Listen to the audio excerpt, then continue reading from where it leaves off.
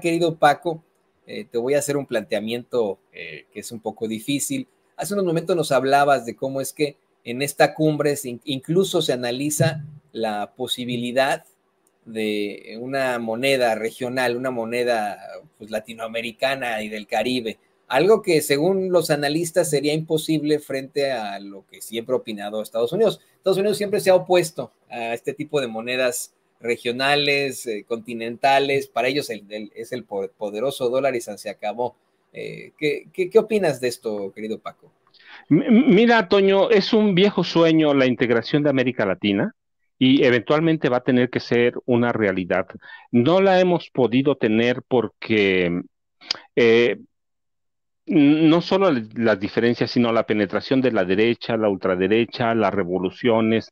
ha sido un continente convulso o una región convulsa, pero sí debe ser algo necesario, debe ser algo que, urge, va solo a través de la integración latinoamericana con las diferencias de cada país podemos enfrentar o la región puede enfrentar el futuro que viene, que es, va a ser por regiones, Toño, va a ser por regiones, y solo así va a poder negociar con dignidad.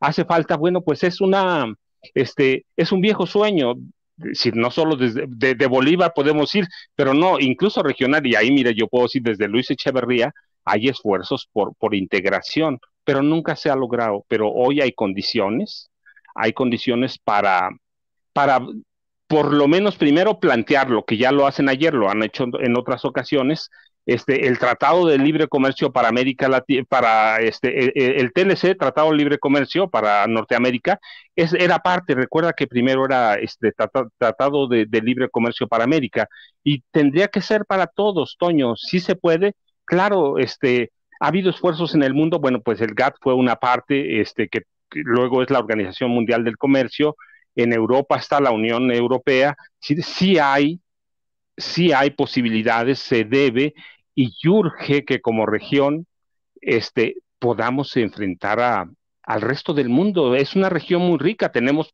va, tenemos economías muy sólidas y fuertes. Brasil, Argentina, Colombia, México, y hay países ah, más pequeños que integrados a esa región nos podemos sumar al, al progreso real al combate a la, a la, a la, a la marginación. Entonces, sí se puede, es un viejo sueño. O sea, no, eh, este, el, el, el, área de libre comercio para América es, es posible, es deseable, pero no se había logrado, entonces hay que, este, me parece que esto es bien importante y me parece que López Obrador es un personaje que puede lograr algunas cosas como esas, Toño. en definitiva, en definitiva podemos tener ahí eh, eh, una vez más haciendo historia, imagínate cómo le pondríamos a la moneda, a la moneda latinoamericana. Creo que no podrían ser bolívares porque pues ya lo utilizan algunos otros países, pues, no sé, pero eh, un, le podríamos poner ahí, ¿no? Un Hidalgo, algo que represente a todo, a todo el continente, ¿no?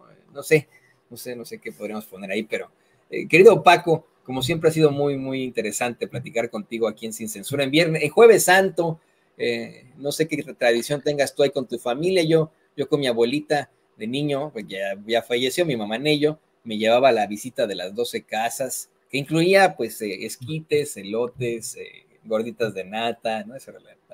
Mira, Toño, yo no, yo, yo no soy católico, no soy creyente, pero respeto mucho las tradiciones, mucho soy un hombre muy, soy, soy parto de la base de, no de la tolerancia, ¿eh? que es otra cosa, parto de la base del respeto y yo, por ejemplo, a, a, mis hijos les inculco ciertas tradiciones que, en las que puedo no estar de acuerdo, pero que finalmente ellos tienen que decidir qué hacer. No solo Semana Santa, yo, por ejemplo, yo ahora te puedo decir, bueno, hace poco más de dos años murió mi hijo mayor que me sumió en una situación muy complicada este, y mi hijo mayor era, era católico, era un hombre profundamente católico, este, y entre sus deseos era que si algún día pasaba algo como eso, pues tenía que ser un, funeral católico. Entonces yo le respeto y, siempre los, los, inculqué, yo soy esto, yo no creo,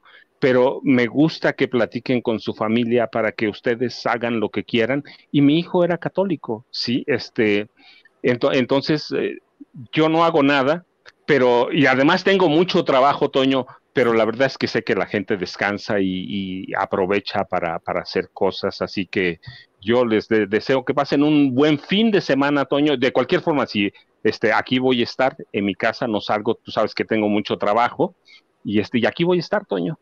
Yo, te agradezco que nos compartas esto, Paco. Ya sabes que siempre ha estado nuestro corazón contigo, nuestro cariño, siempre, siempre, siempre.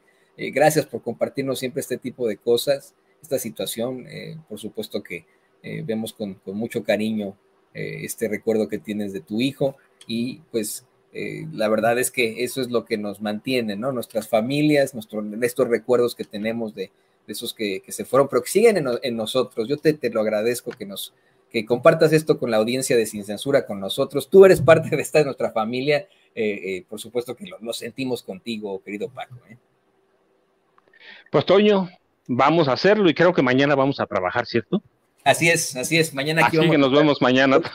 nos vemos mañana, Toño. Santo también, aunque no lo, no lo celebren, eh, si estamos en, de alguna u otra forma con las tradiciones, vamos a estar ahí en un, en un Via Crucis duro, ¿eh? desde las seis con la mañana, ¿eh? desde la mañana. Pero mira, lo que, me, lo que me gusta de estos días, Toño, la verdad, es la comida. Sí, la, este, eh, eh, en, en, mi casa, alguna parte de mi familia acostumbran a hacer romeritos y bacalao. Y la verdad lo espero con ansias, Toño. Lo espero con ansia. Ya sabes lo que dice ese viejo filósofo mexicano. Primero en la panza.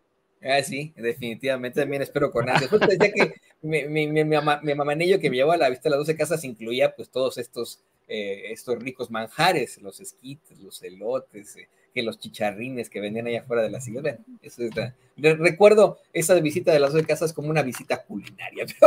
querido Paco, compártenos tus redes sociales para que la gente se ponga en contacto contigo y mañana, mañana aquí nos vemos. Seguro que sí, Toño, yo ya sabes, este, arroba Paco Cruz Jiménez en Twitter, Francisco Cruz Jiménez en Facebook. Y aquí estamos, Toño, pendientes. Muchas gracias, un abrazo para todos y, este, y nos vemos mañana, Toño. Nos vemos mañana. Ahí está el queridísimo Paco Cruz, escritor, periodista, aquí en Sin Censura, parte de esta familia, es, hermano nuestro, así que ponerlo, hermano aquí de Sin Censura. Y bueno, pues vamos a más información.